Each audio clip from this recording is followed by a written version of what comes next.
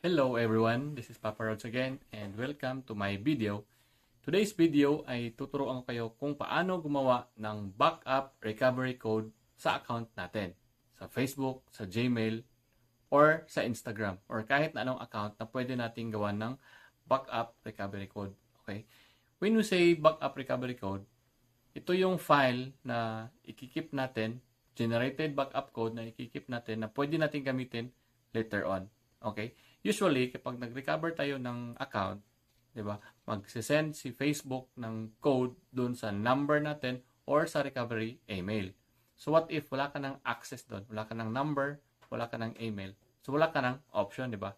But, bago yan, bago mangyari ang lahat ng yan, mawala yung email or yung number, gagawa tayo ng recovery code. Ito yung pinaka-master code na gagamitin natin. Kumbaga, walang expiration ang code na ito gagawin natin to at i-keep natin. Si Facebook ay nagbibigay ng up to 10 generated codes. Ito yung mga uh, code na pwede nating i-keep na anytime pwede rin nating gamitin. So before tayo mag-proceed guys, please don't forget to subscribe my channel and hit the notification bell para maging updated ka sa mga videos na i-upload natin every week.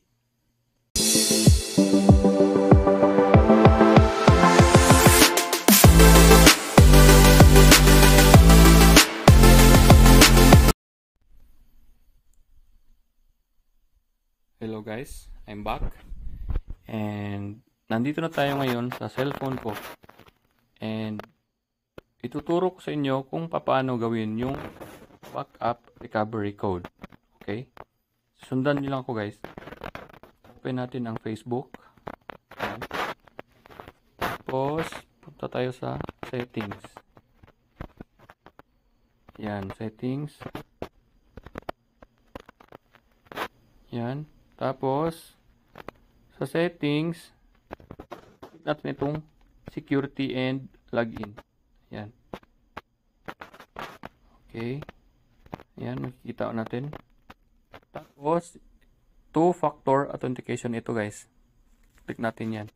Dapat, enabled ang two-factor authentication natin. Okay. So, ngayon, sa akin, nakaset na yung two-factor authentication before. Tapos, yung recovery code is ito. Makikita dito. Diba? Yan. Recovery code. Click mo lang yan. Tapos, pag click mo, lalabas, lalabas ito. Recovery codes. Oh. Use recovery code to log in if you lose your phone or can't receive a verification code via text message or authentication app. Diba? Usually, kapag nag-reset ka ng password mo, mag-send si Facebook ng code dun sa email or sa number mo. ba? So, kung wala ka ng number, wala ka ng email, mayroon pa tayong isang option. Ito 'yun. Backup recovery code. Okay? So, dapat gamitin natin ito kasi ito yung pinaka-power na security code. Kasi yung number na isinasend ni ni Facebook, may expiry yun eh. ba? After 60 seconds, wala na, hindi na siya valid. Yung sa email naman, ganun din. May expiry yun. Pero itong recovery code na galing mismo sa Facebook, wala siyang expiry. So, kailangan mo lang i-keep siya tapos uh, pag gagamitin mo na siya, kunin mo lang yung na-keep mong files para pwede mo siyang i-plug in ulit. Okay? Okay, proceed tayo guys. Click natin ang recovery code. Tapos, show, show codes. Yan, click natin yan. Yan. Ito. Ito yung mga recovery codes na generated ng account ko. Up to 10 codes ang binibigay ni Facebook. Sa akin, yung 10 codes ko, meron na siyang tatlong nagamit. Kasi hindi ako gumagamit ng email saka number sa verification code. Ang ginagamit ko talaga is recovery codes. Ito yun. So, yung 10 codes ko, gamit ko na ng tatlo. Yan, kung napapansin nyo, yan, di ba? Naka-gray na yan. Na may check na. Tapos ito naka-gray din. Meron sa gilid, may nakalagay na used. Used. Used. Yan, tatlong used. So, yung 10 codes ko, meron na lang akong 7. Di ba? Kailangan mo lang guys, ito, lahat ng code na yan, is keep mo.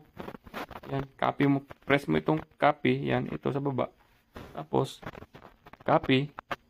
Done. Pwede mo na siyang i-paste kung saan mo siya i-paste. Halimbawa, dito sa notes. Paste natin. Ayan.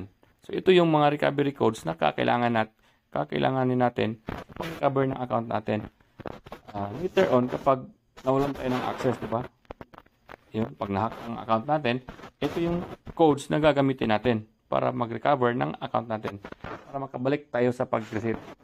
Yung code na sinesend ni Facebook sa email or sa number, meron pa rin yun. Pero kahit hindi mo yun gamitin, ito yung gagamitin mo na code, pwede. Okay? So, napaka-importante ng code nito guys.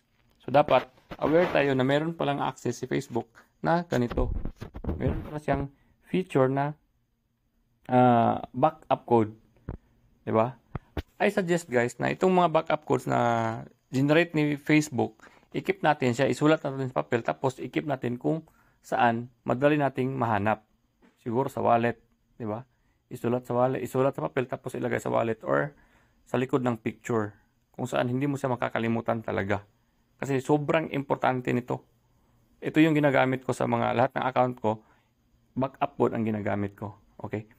Pwede mo rin siyang i-new codes. Kumbaga, pwede mo siyang burahin lahat tapos mag-renew ka ng code. Di ba? Pwede rin. Kasi up to 10 lang eh. Pag naubos mo na yan, wala ka ng backup. So, kailangan, ah, pag naubos mo na, pwede kang mag ah, gawa ng new set ng codes na pwede mo rin ulit i-keep. Okay? So, ganun lang guys. Ganun lang ka simple gumawa ng backup recovery code.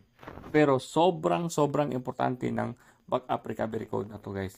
Kumbaga ito yung pinaka master ah, code na binibigay ni Facebook para i-secure yung mga account natin.